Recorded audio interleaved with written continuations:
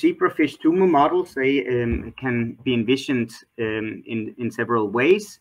Uh, tumors implanted subcutaneously in zebrafish, they will form a, a solid tumor that both invade uh, locally but also send out metastasis into, uh, in this case, uh, the hematopoietic uh, plexus in the tail fin, um, a similar region as bone marrow in humans.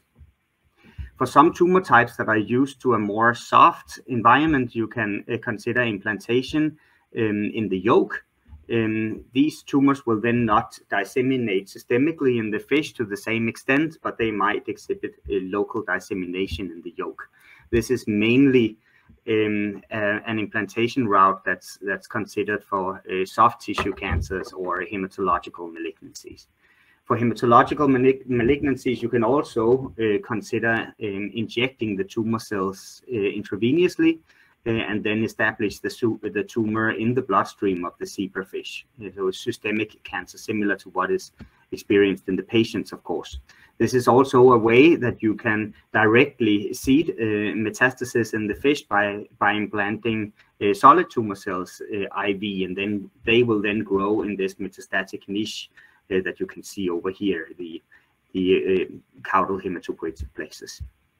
We at BioReperia prefer the first route because it will allow you to both study the primary tumor as well as uh, the metastatic process in detail. This is an image um, of the blood vasculature of the zebrafish labeled with endogenous uh, green fluorescent protein. So this is a transgenic fish that expresses a green fluorescent protein in endothelial cells, uh, implanted with tumor cells that have been labeled with a red fluorescent dye called DII.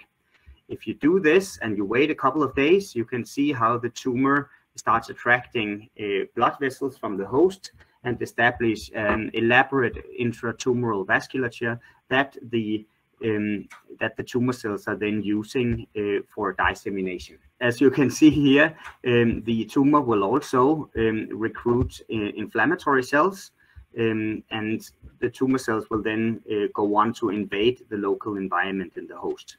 This is what it can look like uh, when you study um, both local and distal uh, metastasis in the zebrafish. So again, we're using this uh, transgenic strain where you can see all the blood vessels with endogenous green fluorescent protein, and the tumor cells are labeled in red.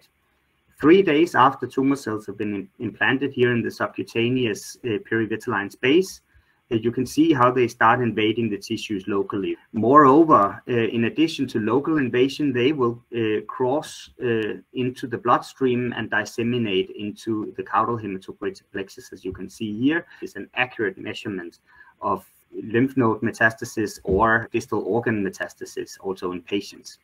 So it's an enormous level of detail, subcellular uh, detail that you can study the metastatic process.